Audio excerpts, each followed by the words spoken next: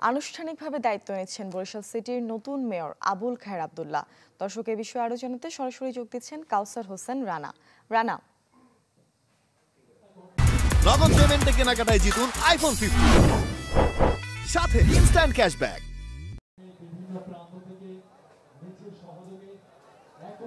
বুঝলা বরিশাল সিটি কর্পোরেশনের নির্বাচন অনুষ্ঠিত হয় গত বারো জুন। সেই নির্বাচনে আওয়ামী লীগের নৌকা প্রতীকের প্রার্থী আবুল খায়ের আবদুল্লাহ নির্বাচনে জয়লাভ করেন।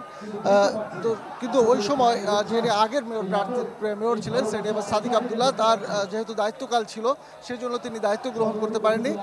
আজ আনুষ্ঠানিকভাবে চোদ্দই নভেম্বর সেই পরিষদের যখন মেয়াদ শেষ হয়েছে সেই মেয়াদে দায়িত্বভার গ্রহণ করছেন নবনির্বাচিত যে মেয়র আবুল খায়ের আবদুল্লাহ খোকন সেন্নিবাদ তিনি। এবং আহ, অনুষ্ঠানে এর আগে গত নয় নভেম্বর সেন্নিবাদ সাদিক আবদুল্লাহ তিনি তার দায়িত্ব থেকে সরে যান এবং আজ আবুল খায়ের আবদুল্লাহ তার দায়িত্বে আসছেন।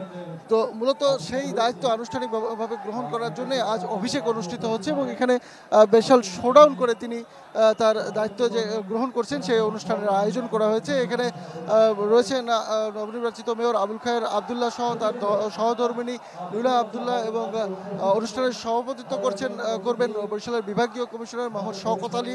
এছাড়া স্থানীয় এছাড়া বরিশালের দুই আসনের সংসদ সদস্য শাহ আলম সহ বিভিন্ন গণ্যমান্য ব্যক্তি এবং আওয়ামী লীগের নেতাকর্মীরা এই অনুষ্ঠানে অংশগ্রহণ করেছে। পাশাপাশি নগরীর বিভিন্ন স্থান থেকে আবুল খায়ের আবদুল্লাহর যে অনুসারী রয়েছেন তারাও এই অনুষ্ঠানে যোগদান করেছেন।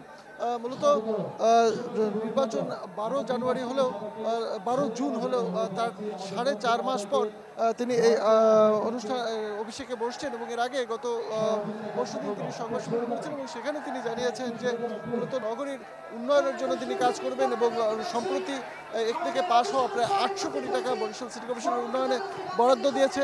সেই বরাদ্দ সঠিকভাবে কাজ করে বরিশাল নগরের যে কাঙ্ক্ষিত উন্নয়ন, যেটি গত দশ বছর হয়নি, সেই উন্নয়ন তিনি ঘটানোর প্রত্যয় নিয়ে এই তার দায়িত্বে বসবেন। এই ছিল তার অভিষেকের অনুষ্ঠানের কর্ম, অনুষ্ঠানের স্থলের কার্যক্রম।